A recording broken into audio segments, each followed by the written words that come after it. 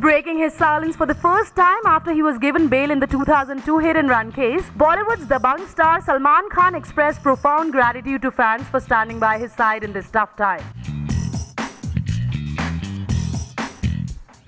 Here's what he said. I owe you guys, man. I respect that and really appreciate what you have done. All the prayer for me. The Dabangg Khan, who's shooting for Kabir Khan's Bajrangi Bhaijaan, said prayers and fast observed by his fans show a lot of love for him. When asked if he would like to be the brand ambassador of Kashmir, he said, If I have to be a brand ambassador, I would like to be a brand ambassador for India. We have shot one movie here, we will surely shoot another movie here. Now, would you like to see Salman as brand ambassador of India? Let us know.